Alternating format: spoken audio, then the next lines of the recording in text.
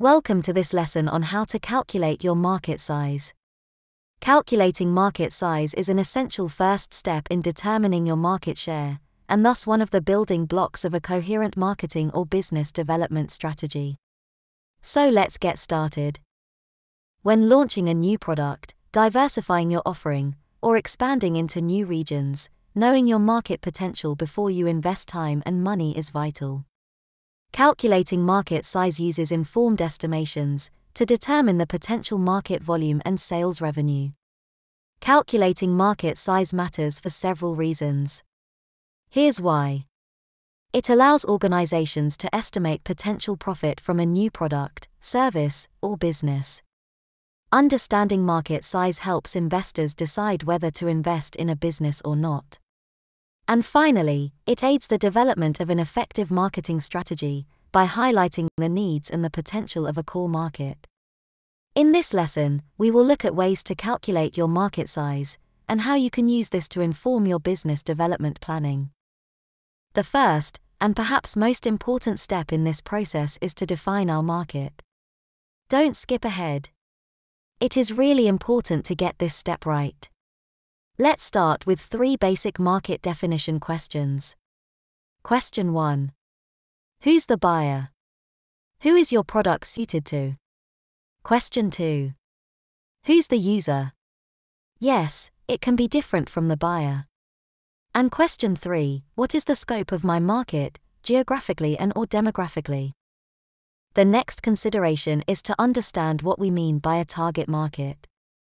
In this respect, there are three important concepts the TAM, or Total Addressable Market, the SAM, or Total Serviceable Available Market, and the SOM, the Total Serviceable, Obtainable Market, or Market Share.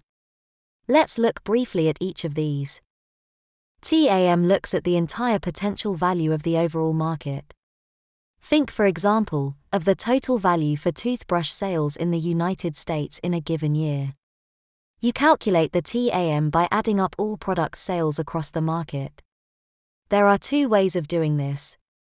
The first way is to add up figures for toothbrush sales per grocery chain, pharmacy, and retailer. The second ways is to estimate how many toothbrushes the average person buys, multiply that by the number of people in the United States. And then by the average cost of a toothbrush. The next concept is SAM. SAM refers to the specific potential audience for your product or offering. Staying with our toothbrush example, the total value of sales of online only electric toothbrushes for kids. This would be the maximum market value of your company based on this target market. To calculate SAM, add up all the relevant product sales across the market, so, add up figures for online purchases of electric toothbrushes for kids. And the third concept here is SOM. SOM, also known as share of market, is a representation of the proportion of your SAM that you're likely to obtain for your company. Assuming you're not the only children's toothbrush manufacturer in the market, that number will be smaller than the SAM. To calculate SOM, divide last year's revenue by last year's SAM. This is your market share. Now multiply your market share by the dollar value SAM for this year. There are two approaches to market sizing top down and bottom up. The first is a top down approach, in which you start by looking at the market as a whole, from a bird's eye view, then refine it to get an accurate market size. A bottom up approach is the exact opposite, starting small and working your way outward. This looks first at identifying the number of units you can expect to sell, then considering how many sales you anticipate from each buyer, and finally the average price per unit. Neither gives you the complete picture, so it's important to understand and use both approaches. Top down market sizing looks at the whole market, taking a macro view of potential revenue and customers.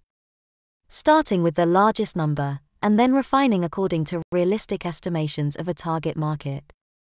A top down approach to market sizing is used to ascertain your serviceable obtainable market, the SAM. Bottom up market sizing starts small, then gradually gets built up. Firstly, you identify the segments you intend to reach. Then, estimations are made using assumptions and market research to establish growth and size. Essentially, bottom up market sizing looks at where a product or service can be sold, the sales of comparable products, and the portion of current sales in the market that you can go after. Here is a worked example. Let's say you want to launch a wine company. First, you'd want to determine how many liquor stores are in the United States. This helps you figure out the total market to which you could theoretically sell your product. After your research, you discover there are 50,000 liquor stores in the United States. Of that total list, you only want to sell to the New England area, including Massachusetts, Maine, and Rhode Island.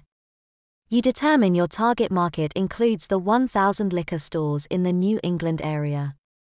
From here, you conduct research and speak with alcohol distributors to determine there's a roughly 40% success rate for wine distribution. Using this as an example, we'd calculate the market size using the following formula. 1000 liquor stores times 40% equals 400 liquor stores. Then, if you assume each liquor store will result in $20,000, you can figure out potential revenue using the following formula. 400 liquor stores times $20,000 equals $8 million. This means you stand to make $8 million if you penetrate 40% of the total market in the New England area. Now let's try a bottom up approach. Using the same wine example, say you found recent data showing that the average cost of a wine bottle in New England is $10. A survey shows that the average consumer buys one bottle of wine a week, or 48 bottles a year. This means that the average consumer spends $480 per year on wine. Next, you discover that the number of consumers, or households, you can expect to reach in the New England area is 16,000. As a result, your market size is 480x 16,000, which equals $8 million. It's important to note that both methods ignore the existence of competitors, customer churn rate, and other factors that impact sales. With this in mind, you'll want to remain conservative when estimating how much of the market size you'll win, and use this as a starting point. So, which approach is better? The top down approach is supplier based, and is the approach used most often by research firms. This approach is typically based on a series of competitive interviews, where each competitor is asked for an estimate of the market size. These estimates are sometimes weighted, and then averaged for the market size calculation.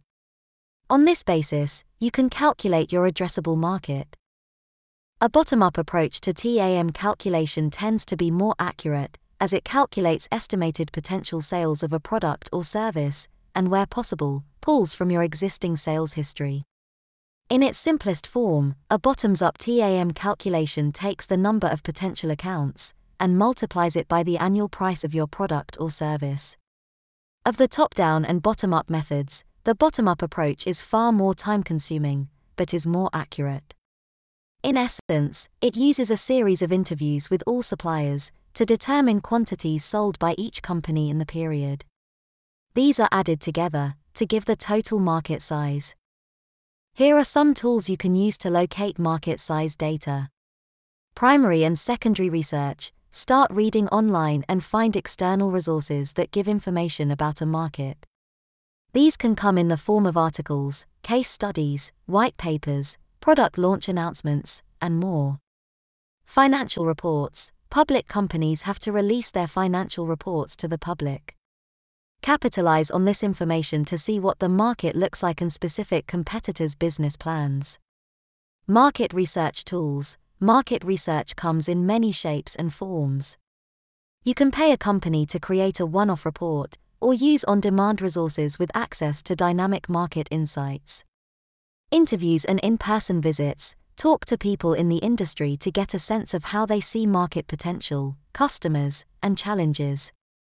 This can include studying customer segments and analyzing audience demographics. Put it all together, Look at the figures and group all your information together to see if it all makes sense. If you have calculated a TAM of $1 billion, but conversations with business owners in the space point to half that, Try to spot where your estimations may have skewed and adjust the TAM, SAM, and SOM accordingly. Market size is one of the fundamental measurements that must be taken before you develop your marketing strategy. For example, expenses for an R&D project should be related to market size. The same is true for sales force and marketing expenses. On the one hand, you do not want to overinvest based on market size. On the other hand, you do not want to underinvest in large, fast moving markets. Market share data can also tell us if your share of the market is growing or declining. In the next lesson, we will look at how to acquire and make best use of market share data. Want to learn more about this subject? Then click on our website to view the full course. Why not subscribe and get access to free articles and special offers? Join the Global Career Highway now.